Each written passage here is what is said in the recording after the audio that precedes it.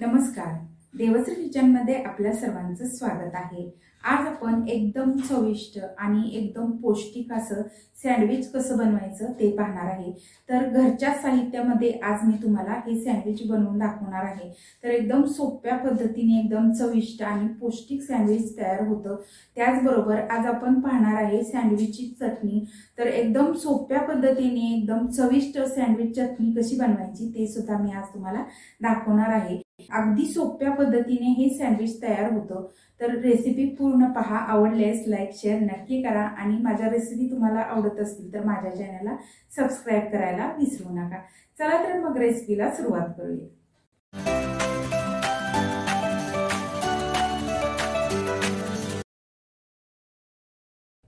Sandwich करण्यासाठी सर्वात महत्त्वाचं असतं ते म्हणजे सँडविच चटणी. तर आज आपण सुरुवातीला सँडविच चटणी कशी बनवायची ते पाहणार आहे. त्यासाठी लागणारं साहित्य पाहूया. तर इथे मी डाळे घेतलेले आहेत. डाळे म्हणजेच याला काही ठिकाणी डाळवं असं म्हणतात. तर काही ठिकाणी चण्याचे डाळ असं सुद्धा म्हणतात. तर आमच्याकडे डाळे असं म्हणतात. आणि इथे मी साधारण तीन चमचे डाळे घेतलेले आहेत. त्याचबरोबर दोन चमचे दही घेतलेलं आहे. आणि इथे भरपूर कोथिंबीर घेतलेली आहे. तुम्ही पाहू शकता. कोथिंबिरीचे बारीक बारीक देठ असतात ना ते सुद्धा मी कोवळे देठ असतात ते घेतलेले आहेत. यामुळे चटणी चवीला खूप मस्त लागते आणि त्याचबरोबर इथे मी थोडासा पुदिना घेतलेला आहे. आणि इथे मी चार हिरव्या मिरच्या घेतलेल्या आहेत. तुमच्या आवडीनुसार तुम्ही हिरवी मिरची कमी जास्त घालू शकता कारण काही हिरव्या मिरच्या तिखट असतात तर काही हिरव्या मिरच्या तिखट कमी असतात. तर त्यानुसार तुम्ही यामध्ये हिरवी मिरची वापरू शकता. आणि इथे मी थोडंसं आलं घेतलेलं आहे. तुम्ही पाहू शकता एक थोडासा तुकडा आहे. आणि इथे मी पाच लसणाच्या पाकळ्या घेतलेल्या आहेत. या लसणाच्या पकड्या थोड्याशा लहान आहेत त्यामुळे मी इथे पाच घेतलेल्या आहेत. जर तुमच्याकडे मोठा लसूण असेल तर तुम्ही दोन वापरू शकता. आणि इथे मी अर्धा चमचा जिरे घेतलेले आहे. अर्धा चमचा साधं मीठ घेतले आणि अर्धा चमचा सैंदव मीठ घेतलेलं आहे. त्याचबरोबर एक चमचा तेल घेतलेला आहे. सर्वात महत्त्वाचं म्हणजे हे तेल आहे कारण तेलामुळे चटणी एकदम अशी घट्ट आणि दाटसर होते. आणि ती अगदी एकजीव होत. तर चटणी केल्यावर बऱ्याच वेळा काय होतं की या चटणीमधून पाणी बाजूला तर असं होऊ नये. अगदी एकजीव आणि छान अशी थिकनेस असलेली चटणी करण्यासाठी आपल्याला इथे तेल वापरायचं आहे. ही खूप महत्वाची टीप आहे. लक्षात ठेवा. तेल घालणं खूप महत्वाचं आहे. यामुळे चटणी अगदी एकजीव आणि मस्त होते. तर प्रथम आपण एका मिक्सरच्या भांड्यामध्ये हे डाळे घालून घेऊयात. आता हे डाळे आपण थोडेसे अगोदर बारीक करून घेऊयात. डाळे मी बारीक करून घेतलेले आहेत. त्याचबरोबर मी इथे हिरव्या मिरचीचे सुद्धा तुकडे करून घेतलेले आहेत. ते आपण यामध्ये घालूयात. पुदिना घालूयात. कोथिंबीर या चटणीसाठी भरपूर मी वापरलेली आहे. त्यामुळे याचा रंगही खूप मस्त येतो आणि चवीला सुद्धा ही चटणी खूप मस्त लागते. त्यासाठी मी कोथिंबीर जास्त वापरले. तर यामध्ये आता दही घालूयात. जर तुम्हाला दही घालायचं नसेल तर तुम्ही यामध्ये लिंबूसुद्धा घालू शकता. कारण चटणीमध्ये कुठल्याही चटणीमध्ये थोडासा आंबटपणा असल्यानंतर चटणीचा रंग बदलत नाही ती काळपट पडत नाही तर अगदी हिरवीगार चटणी राहते. त्यासाठी नेहमीच कुठलीही चटणी करताना थोडंसं आंबट दही किंवा लिंबू घालावं.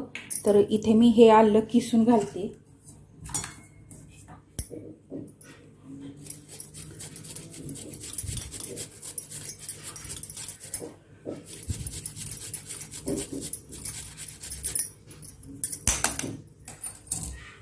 यामध्ये जिरे घालूयात. आणि तेल. त्याचबरोबर सैंदव मीठ. आणि साधं मीठ. जर तुमच्याकडे सैंदव मीठ नसेल तर तुम्ही फक्त साधे मीठसुद्धा वापरू शकता. आता यामध्ये अगदी दोन चमचे पाणी घालूयात. आता आपण हे बारीक करून घेऊयात.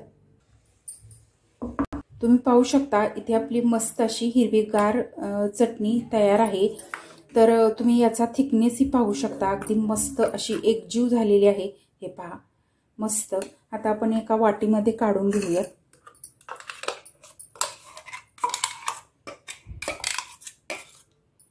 तर इथे आपली सँडविच चटणी तयार आहे. आपण सँडविच करायला घेऊया. सँडविच करण्यासाठी इथे मी ब्रेडच्या स्लाइस घेतलेल्या आहे त्याचबरोबर इथे मी काही भाज्या घेतलेल्या आहेत. टोमॅटो कांदा आणि कोबी घेतलेला आहे. यामध्ये तुमच्या आवडीनुसार तुम्ही भाज्या घालू शकता. आणि इथे मी बटर घेतले आणि सँडविच चटणी त्याचबरोबर इथे जिरे पावडर घेतलेली आहे आणि चाट मसाला. प्रथम आपण हा ब्रेड आहे तो एका प्लेटमध्ये घेऊयात.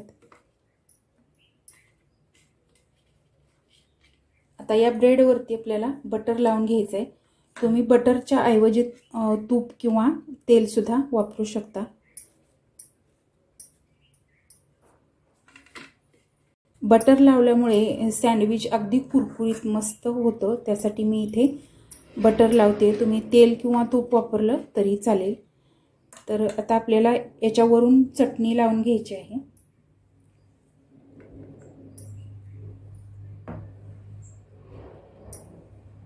इथे मी चारही स्लाइसला चटणी लावून घेणार आहे.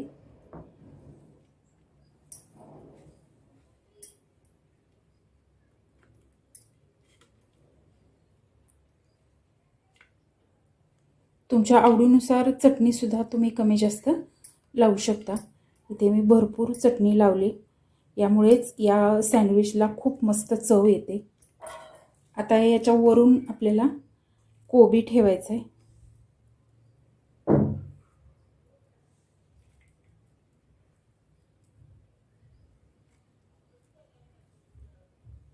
तुम्ही या ठिकाणी बटाटा किंवा दुसऱ्या शिमला मिरची अशा भाज्या तुमच्या आवडीनुसार तुम्ही वापरू शकता. याच्यावरून कांदा ठेवूयात. कांद्याची मी अर्धे अर्धे काप करून घेतलेले आहे. आता आपण या भाज्यांवरून चाट मसाला आणि थोडंसं जिरे पावडर घालूयात. तर ही जिरे पावडर मी घरी तयार करून घेतलेली आहे. तर थोडेसे जिरे भाजून याची पावडर करून घ्यायचे म्हणजे चवीला खूप मस्त लागते. थोडासा चाट मसाला. आता या ज्या स्लाइस आहे त्या याच्यावरती ठेवूयात. इथे आपलं हे सँडविच तयार आहे. तर तुम्हाला जर न भाजता किंवा न गरम करता जर हे सँडविच खायचं असेल तर तुम्ही असंही खाऊ शकता. एकदम मस्त चव लागते. तर इथे माझ्याकडे हा गॅस सँडविच टोस्टर आहे. यामध्ये मी हे सँडविच करून घेणार आहे. गॅस आपल्याला एकदम मंद ठेवायचा एकदम बारीक ठेवायचा आहे तुम्ही पाहू शकता. एकदम मंद गॅसवरती आपल्याला हे सँडविच भाजून घ्यायचे आहे. तर याला थोडंसं बटर लावून घेऊयात. याच्यावरती हे सँडविच ठेवूया. आता वरून थोडंसं आपल्याला बटर लावून घ्यायचं आहे.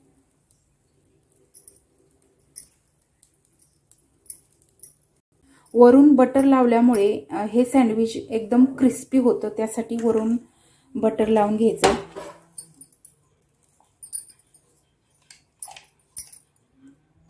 मंद गॅसवरती अगदी दोन मिनिटे आपल्याला हे भाजून घ्यायचं आहे दोन मिनिटे झालेले आहेत. आता आपण पलटून घेऊयात. तर दुसऱ्या बाजूनी सुद्धा आपल्याला दोन मिनिटे हे छान असं खरपूस भाजून घ्यायचं आहे दुसऱ्या बाजूनी सुद्धा दोन मिनिटे हे सँडविच मी भाजून घेतले तुम्ही पाहू शकता एकदम मस्त असा खरपूस रंग आलेला आहे. तर आपण दुसऱ्या बाजूने सुद्धा पलटून पाहूया. मस्त. आता आपण हे काढून घेऊया. एकदम क्रिस्पी झालेलं आहे कुरकुरीत झालेलं आहे. तर आपण दुसरं सुद्धा याच पद्धतीने करून घेऊयात.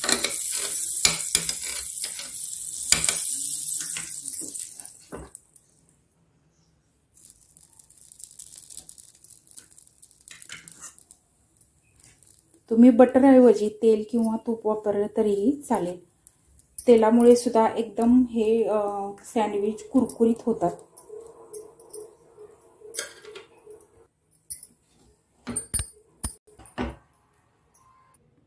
एकदम चविष्ट आणि एकदम क्रिस्पी असं आपल्या इथं सँडविच तयार आहे तुम्ही याचा आवाज ऐकू शकता. एकदम कुरकुरीत असं मस्त हे सँडविच आपलं तयार झालेलं आहे. तर इथे आपण कट करून पाहूया.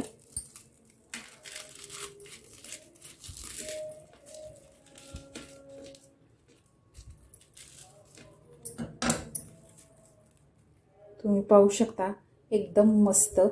पाहता क्षणी मुलांच्या तोंडाला पाणी सुटेल. एवढं मस्त सँडविच तयार झालेलं आहे. अगदी घरच्या साहित्यात एकदम झटपट होणारी रेसिपी आहे. नक्की करून पहा. तर ही रेसिपी तुम्हाला कशी वाटली ते कमेंट करून मला नक्की सांगा. या व्हिडिओला लाईक करा शेअर करा. त्याचबरोबर तुम्हाला जर माझे व्हिडिओ आवडत असतील तर माझ्या चॅनलला सबस्क्राईब करायला विसरू नका. त्याचबरोबर बेलायकनवरतीही क्लिक करा. म्हणजे मी जेव्हा जेव्हा माझे व्हिडिओ अपलोड करेन तेव्हा तेव्हा त्याची नोटिफिकेशन सर्वात आधी तुम्हाला मिळेल आणि माझे प्रत्येक नवीन व्हिडिओ तुम्हाला पाहता येतील. धन्यवाद.